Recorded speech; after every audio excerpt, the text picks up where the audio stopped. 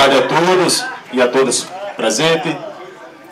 Cumprimentar a nossa prefeita Roró, grande contribuidora desse grande evento, seu esposo Dário, os vereadores Romualdo, Murilo, Jaba, Ézio, Beto, secretária Janaína, Isabela.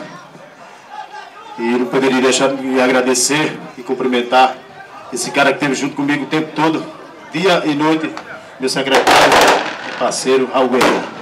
Gente, é uma alegria enorme, particularmente por ser um ex-atleta profissional e, e um amante do futebol, de estar realizando esse grande evento aqui para vocês e sabendo da importância disso para todos, do pequeno ao maior, do jovem, da criança ao jovem e ao adulto.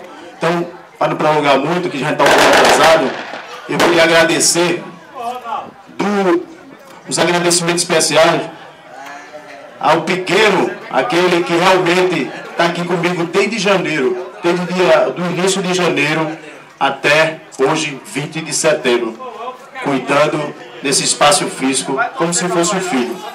Então, eu queria deixar minhas palavras de agradecimento a todos vocês que vieram aqui prestigiar esse jogo. Agradecer a todos do Santa, do Santa Cruz, em nome de Adamo Soares. Agradecer a minha seleção, a nossa seleção de Floresta. Em nome de Damião, meu amigo particular, que veio ajudar. Então sejam todos bem-vindos Santa Cruz. Boa sorte, seleção florestana.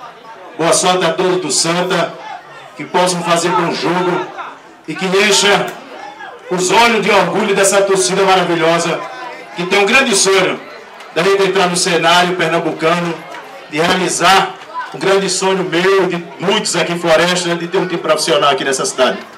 Então, um abraço, felicidade e boa sorte para todos. Que Floresta ganhe, lógico, né?